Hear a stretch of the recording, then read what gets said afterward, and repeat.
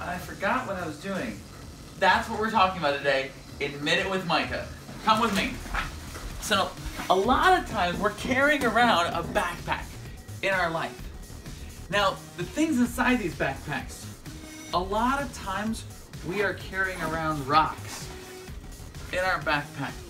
Rocks of pain, disappointment, hurt, things that people have done to us, or even things that we have done to others that we carry around with us, right in our backpack. But when we're trying to move forward, we can't be carrying around stuff from the past. So what we need to do, we need to take these rocks out of the backpack and hand them to God. How do you do that? I mean, it sounds like a great idea, but how do you actually be like, God, I'm down here. Can you please take these rocks out of my backpack? I'm tired of this. You need to forgive yourself and the people that have hurt you. You need to be honest with somebody else.